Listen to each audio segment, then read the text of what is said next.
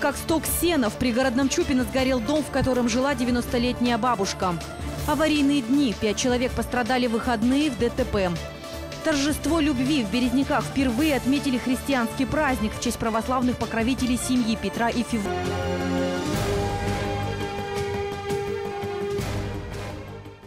Это новости на ТНТ. В студии Елена Вавилова. Здравствуйте. Начну выпуск с пожара, который случился сегодня днем. В пригородном Чупино сгорел дом, в котором жила 90-летняя бабушка. От массового пожарища деревня спаслась, как говорится, по воле ветра. На место происшествия выехали пять пожарных расчетов и наша съемочная группа.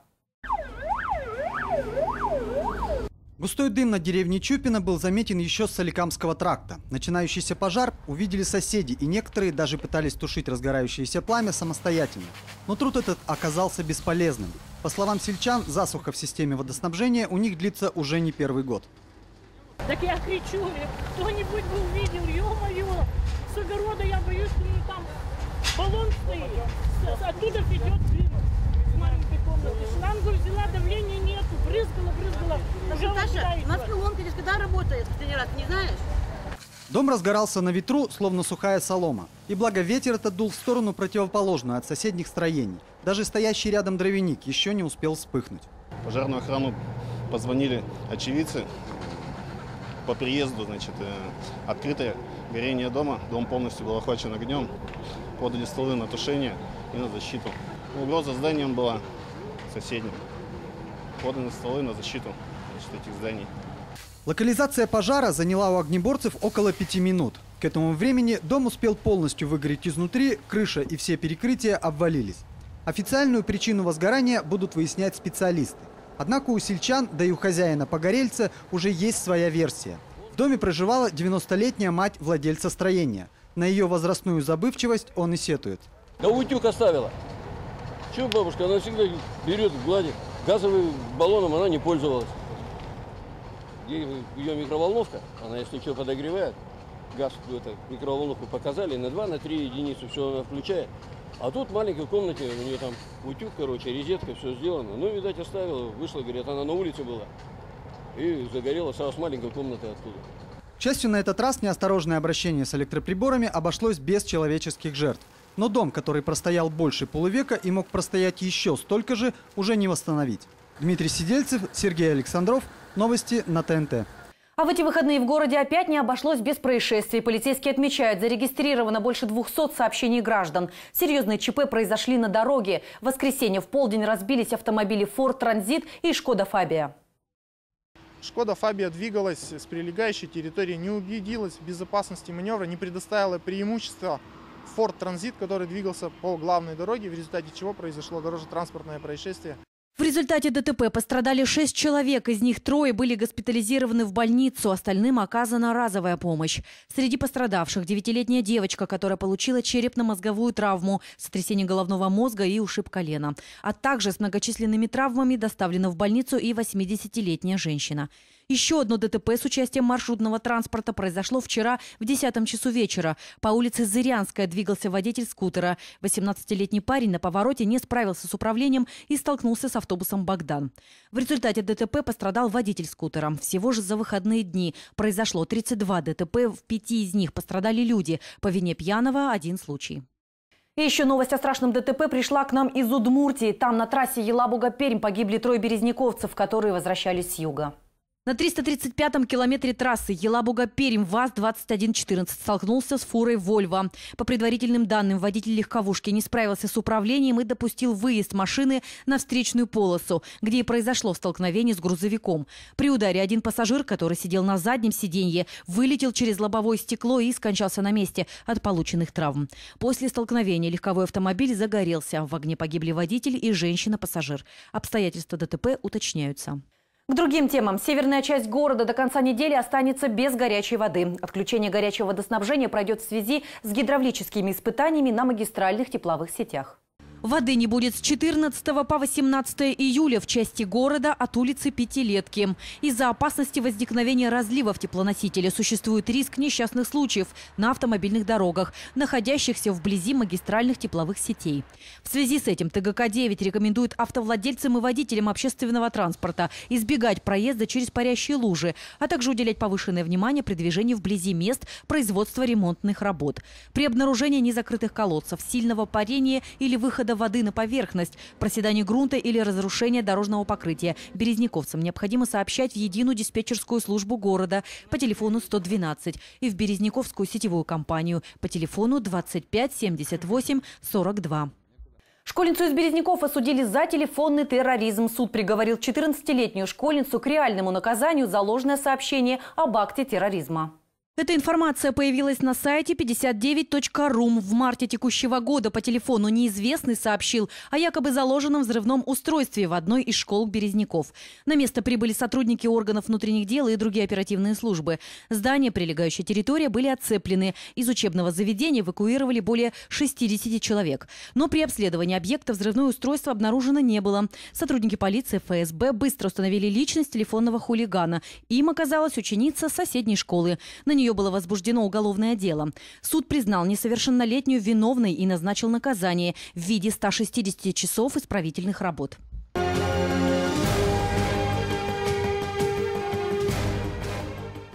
День семьи, любви и верности в Березняках в этом году прошел не совсем обычным. В городском парке культуры и отдыха впервые отметили христианский праздник в честь православных покровителей семьи и любви Петра и Февронии.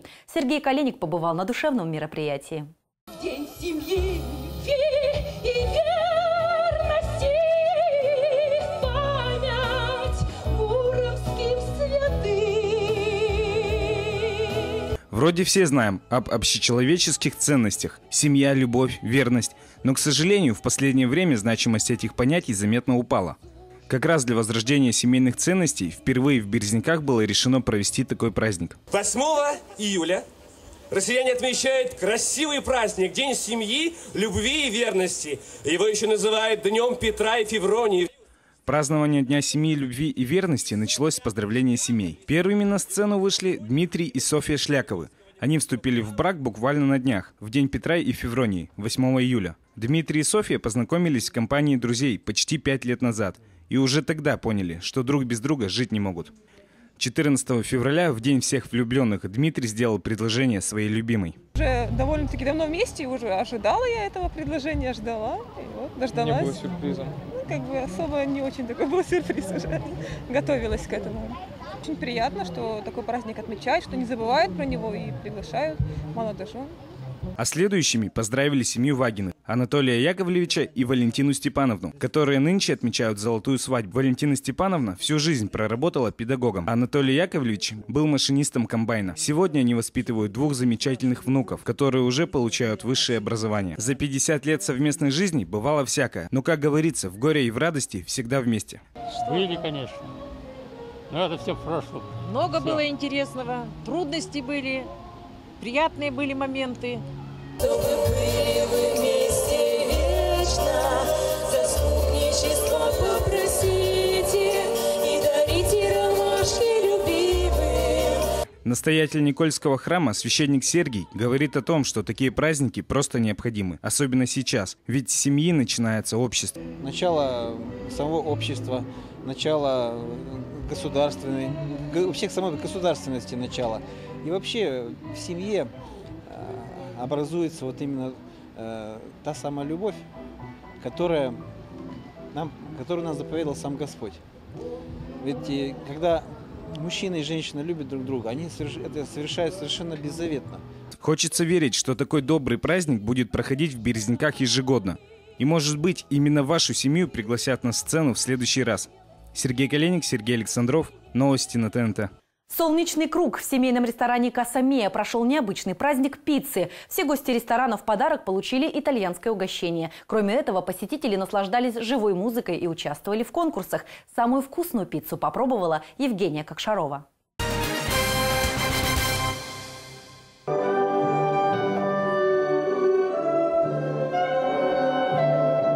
Какой же праздник без музыки, а праздник пиццы непременно должен проходить под итальянскую классику. Каждый посетитель получает в подарок мини-пиццу «Маргарита».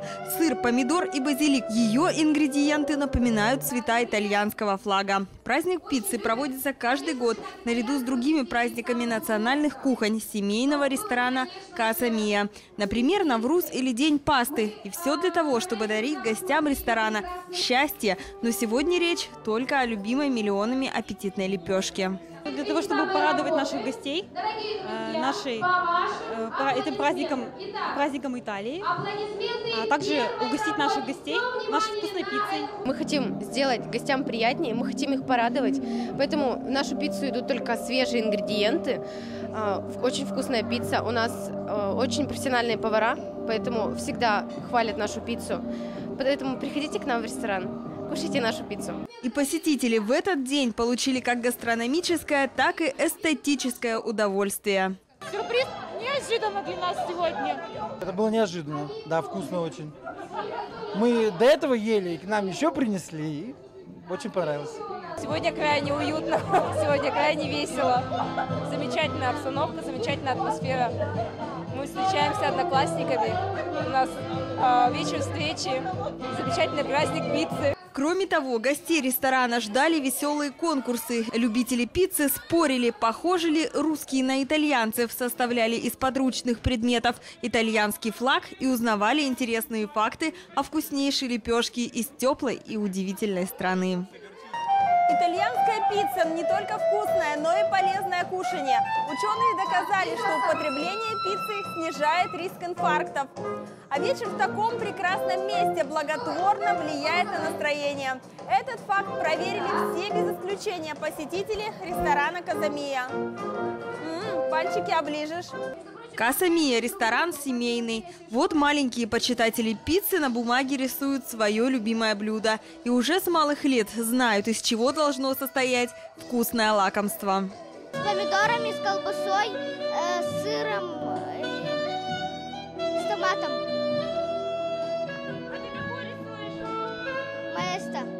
За свое творчество малыши получили аппетитные призы и изысканный подарок от юных танцовщиц балета. Немало сюрпризов ожидало и взрослых. Посетители выиграли подарочные сертификаты от ресторана «Каса Мия», чтобы снова и снова наслаждаться великолепной кухней семейного ресторана. А на празднике пиццы почувствовали себя ближе к солнечной Италии Евгения Кокшарова и Степан Некрасов. Новости на ТНТ.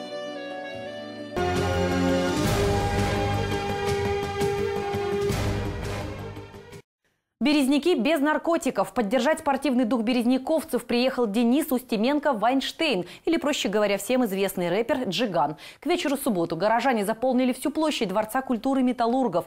Екатерина Федорова не затерялась в толпе и записала интервью с известным хип-хоп-исполнителем.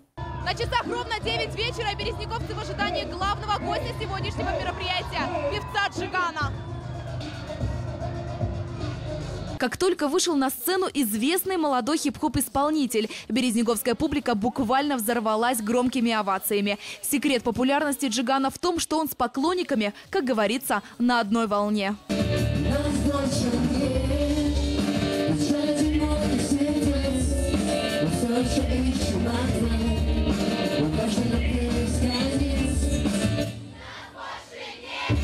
Мероприятие проходило под лозунгом «Березники против наркотиков». Организаторы, а это молодые предприниматели города, уверены, с наркоторговлей надо бороться всем миром. И как пояснил Роман, представитель региональной организации «Молодые предприниматели Пермского края», Джиган – это идеальный кандидат для такого мероприятия.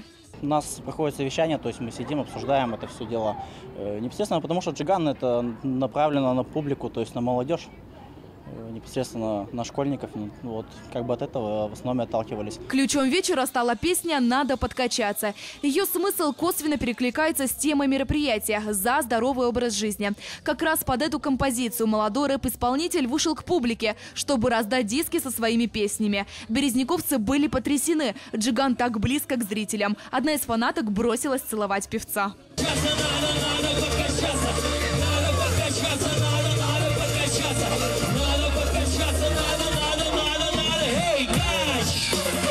Как рассказал Джиган нашей съемочной группе в эксклюзивном интервью, он был немного шокирован неожиданным поступком фанатки.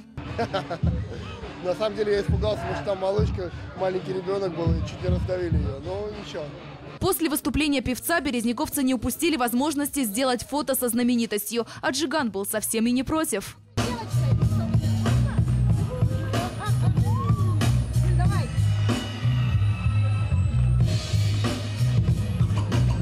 Приятно, что он остановился специально сфотографироваться. Очень приятно. Мало сейчас кто так делает. Рэп-исполнитель также рассказал нам, что в Березняках не в первый раз, и публика его встречает всегда тепло и с особым настроением. Я здесь уже третий раз, и а, сегодня в открытом, можно сказать, таком пространстве, потому что обычно я выступал в а, ночном клубе.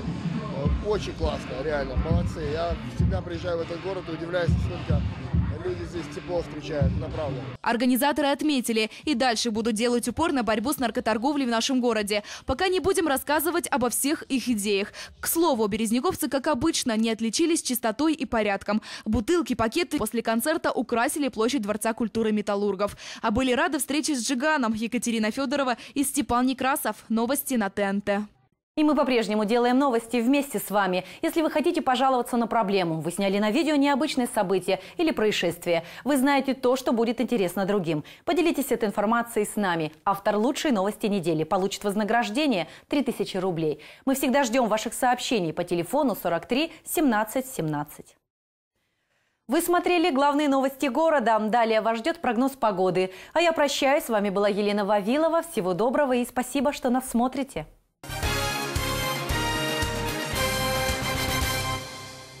Прогноз погоды представляет Климат-маркет технологии климата. Только в июле вы можете купить кондиционер со скидкой до 50%. И скидку выбирать вам. Технологии климата. Советский проспект 2. Левый пристрой к строймаркету «Агроснаб».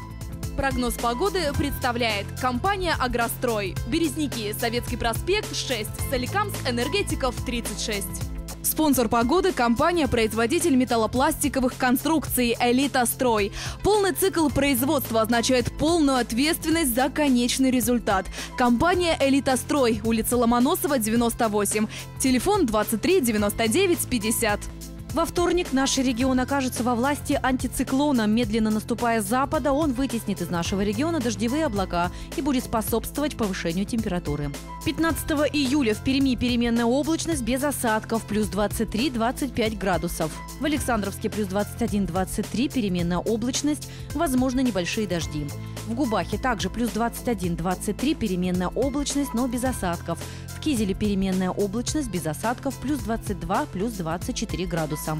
В Соликамске облачно с прояснениями, возможен небольшой дождь и плюс 20 плюс 22.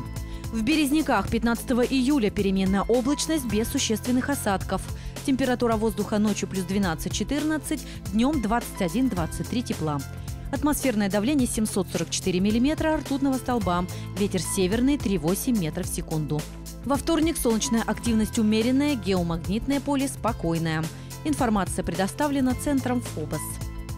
В июле на все кондиционеры скидку выбираешь сам. Технологии климата. Звоните 29 25 99. Адрес нашего магазина Советский проспект 2. Территория Агроснаб. Металл, металл. Кругом металл. Компания «Агрострой» предлагает металлопрокат и профнастил по самым низким ценам. Березники, Советский проспект 6, Соликамск, Энергетиков 36. Элита Строй. От социальных окон до любого вашего каприза. Окна, балконы, двери, установка, ремонт и обслуживание. Собственное производство в Березника. Наш адрес Ломоносова 98 напротив торгового дома Ермак. Телефон 23 99 50.